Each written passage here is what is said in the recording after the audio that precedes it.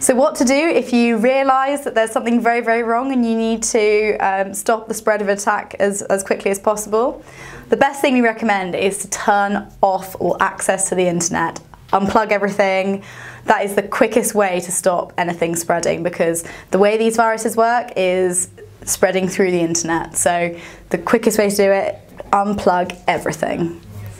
If you'd like to talk to us any more about that, please do get in touch. You can email us at tellmemore at techquarters.com or you can call us on 0800 148 8001.